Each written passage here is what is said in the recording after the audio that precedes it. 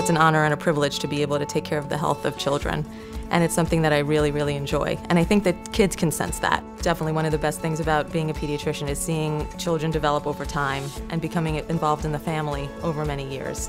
So we get to share in very personal things with the family um, and that makes it a super special relationship. And that's one of the, the best things about, about the job, and it's one of the things I love the most. I first came to know Nemours as a mom. I've taken both of my kids to specialists at Nemours, and I was immediately impressed by the level of service and care that we were provided.